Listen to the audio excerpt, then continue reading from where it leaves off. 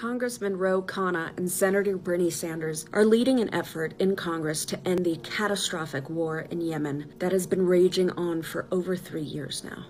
Please call your members of Congress to pass their war powers resolutions to stop this mass atrocity. Due to the US backed, Saudi led war in Yemen, 12 to 14 million people are on the brink of mass starvation. 85,000 children under the age of five have died already due to this war.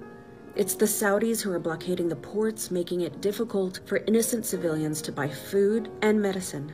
Fuel is not being let into the country, making the inflation problems worse. This has the potential to be the worst humanitarian crisis in a century. And the sad part is, is that this crisis is all man-made. It's a man-made problem. But the good news is, we know how to fix it. The Saudis are attacking countless civilians using American-made bombs with American taxpayers footing the costs. They are creating a whole new generation of young people in the Middle East who grow up seeing US bombs kill their loved ones this war is not making us any safer.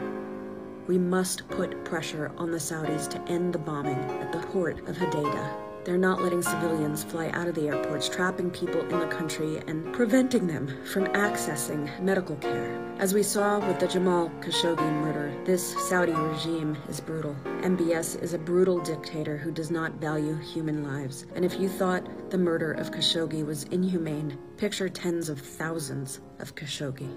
That is what is happening right now. Every 10 minutes, a child dies in Yemen because of the US backed war there.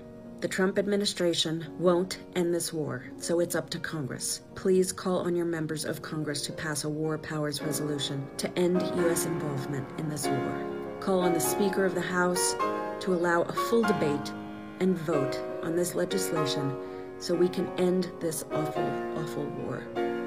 We don't have time to waste. This is our best chance to end the suffering in Yemen.